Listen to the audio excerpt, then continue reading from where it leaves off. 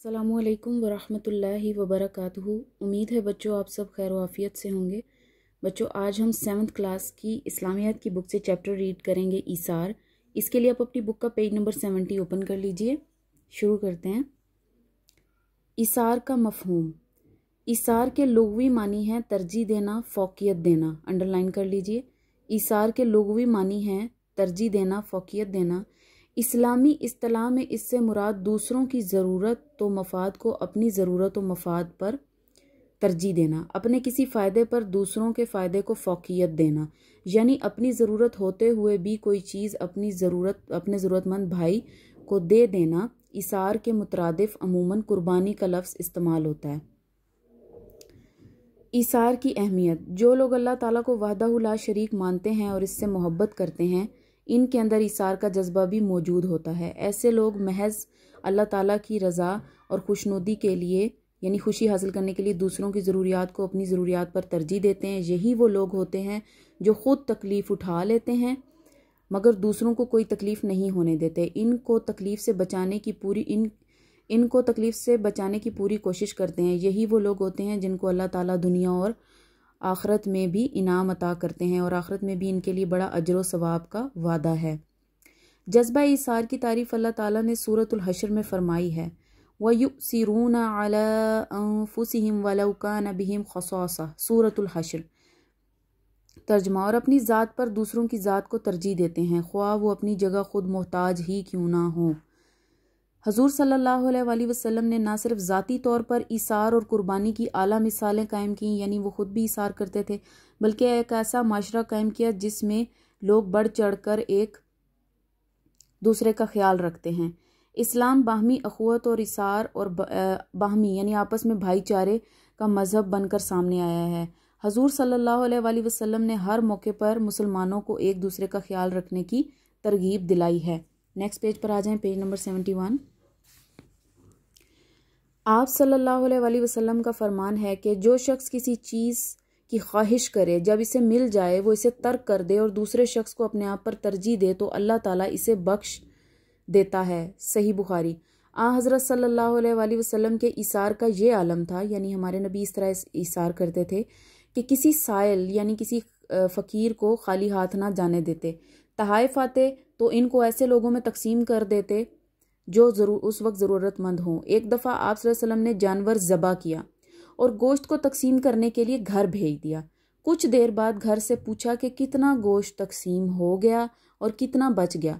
घर से जवाब मिला कि उम्दा गोश्त, यानी अच्छा गोश्त तकसीम हो गया है और ख़राब किस्म का बाकी रह गया है।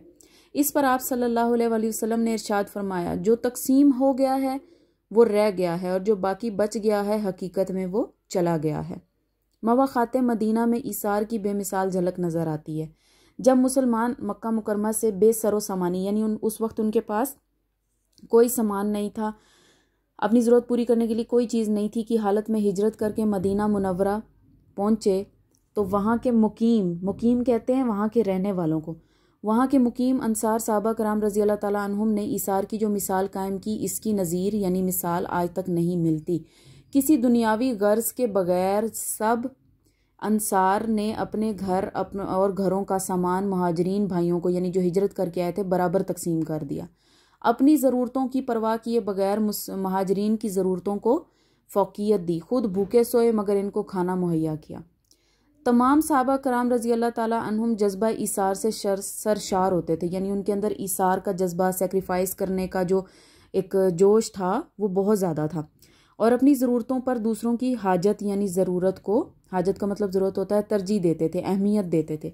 एक सहाबी अबू जंदल बिन हुजैफ़ा रज़ी अल्लाह ताला बयान करते हैं कि जंग यरमूक के मैदान में वो अपने ज़ख्मी भाई की तलाश में निकले। पानी लेकर भाई के पास पहुँचे। इनमें ज़िंदगी की कुछ रमक बाकी थी। रमक का मतलब होता है थोड़ी सी उम्मीद बाकी थी, यानी अभी वो ज़िंदा थे मैदान जंग में।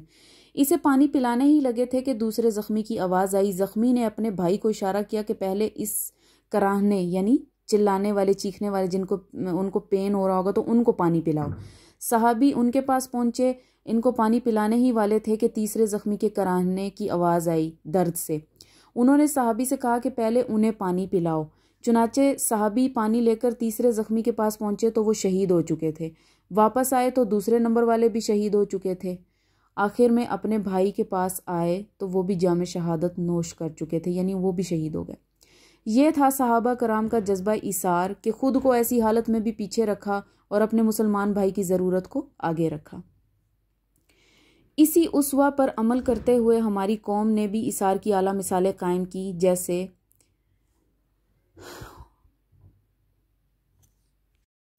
जैसे 1965 की जंग में एक दूसरे की हर ज़रूरत का ख्याल रखा और कौमी खिदमत को अंजाम दिया। इसी तरह 2005 में जब जलजले ने मुल्क के शुमाली इलाका जात में तबाही मचाई तो पूरी कौम ने बढ़ चढ़कर इसार की ज़िंदा मिसालें कायम की।